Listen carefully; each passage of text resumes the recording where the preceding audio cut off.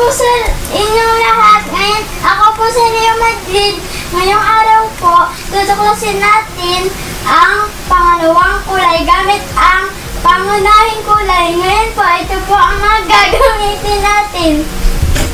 Ito po ang tinidor at ito po ang, ang crepe paper. Kaya ito, ito po ang tubig na ay baso nga lang naman. Ito po ang may baso nga naman.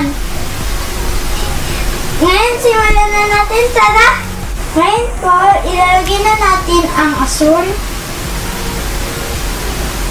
at ang pula at ang dilaw. Ngayon, ihahalo na natin para magkulay siya.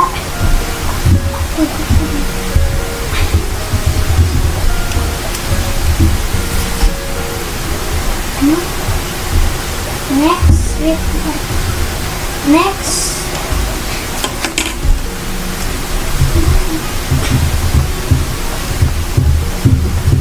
Next.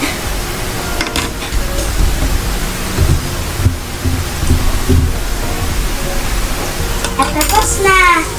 At ito na po ang ating pangunahing kulay. Ito ang asul, pula, dilaw. Kaya ito po na ang uunahin natin.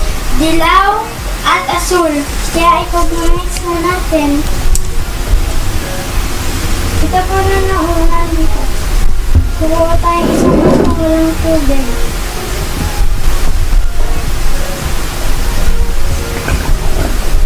Konti. Tapos isa ko po. Dua.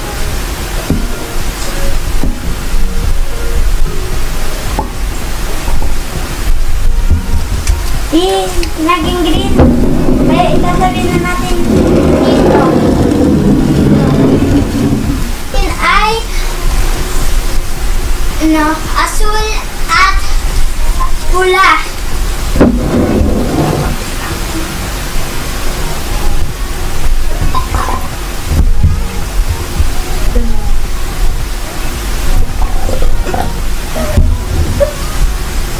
Ito ang kalabasan.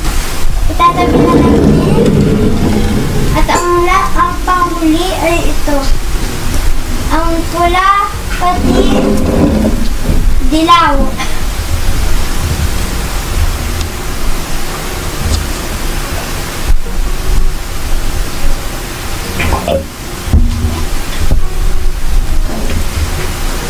Ayun, ganda mo.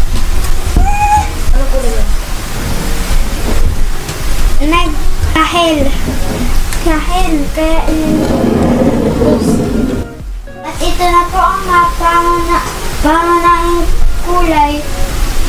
Ito ang asul, dilaw, at pula. Ito na po ang pangalawang kulay. Ito po ang berde. Gamit ang,